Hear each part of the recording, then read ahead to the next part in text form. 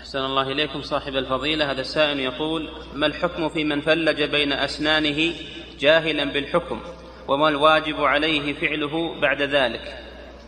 حتى الرجال يفلجون بين الأسنان هذا في حق النساء. إذا كان الرجال وصلهم هذا الأمر هذا من العجائب. لا يجوز للرجل أن يفلج الأسنان. الأسنان تفلج للحسن ملعون من فعله. نعم وهذا ما هو مثل العلاج. علاج الأسنان غير تفلج. نعم.